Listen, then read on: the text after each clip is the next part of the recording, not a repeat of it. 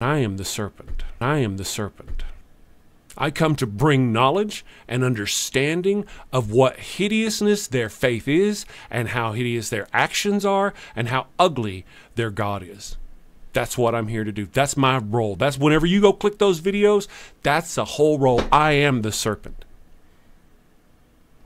And here I am. But the serpent isn't of darkness, the serpent is of the light.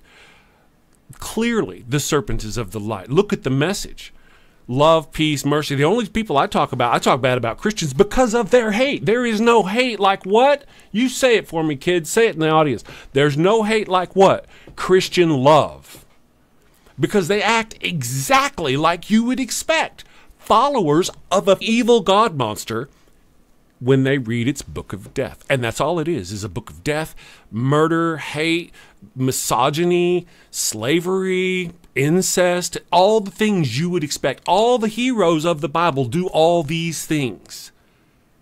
All of them. David, what does David go do? He goes off and kills a couple hundred people just for their foreskins. He was only asked for a hundred, but he went that extra mile. A hundred, two hundred people unalived for the end of their penis so he could get married to a woman. Does that sound like the, the, the, a champion of the of a wonderful loving God or does that sound like somebody who's following the the instructions of an evil god monster? Which makes more sense, people.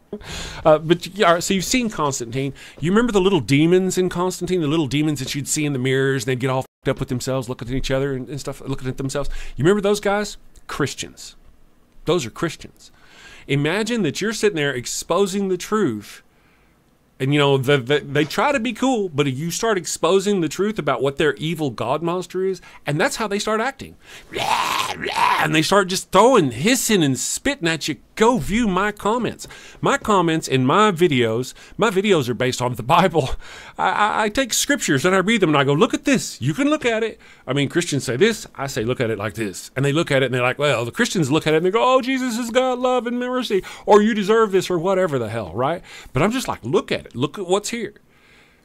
And most of the time, I'm talking a good solid most of the time, they don't, they don't even bother arguing my points at all. They don't list them, they don't refer to them. They just start spitting, you're going to go to hell. You need to get good with God, or, or Jesus is not going to love you, or, or you're going to be in whatever. And they just spit like little demons. That's what these creatures are. Just that's how they act. Now, of course, on the facade, they're like, oh, we're peaceful, we're loving, and we're mercy, right? But the instant, the instant that you start, you pry them beyond that, they become these vile, hideous creatures that start wishing horrible things, the worst of things, on the best of people for the simplest of slights. That's what these things are that the serpent in the in the in the garden was actually the hero. He was trying to free these mind slaves. God had created himself mind slaves. They weren't able to question. They didn't know good from evil. They didn't know right from wrong, and they were just physically physical body slaves. They were chattel, physical, built, designed to do two things. One, work the garden. Two, worship God. Those were their only two. They were slaves to those things. And the serpent freed them from that thing. He, he brought them knowledge, the knowledge of good and evil. And let's turn that around now.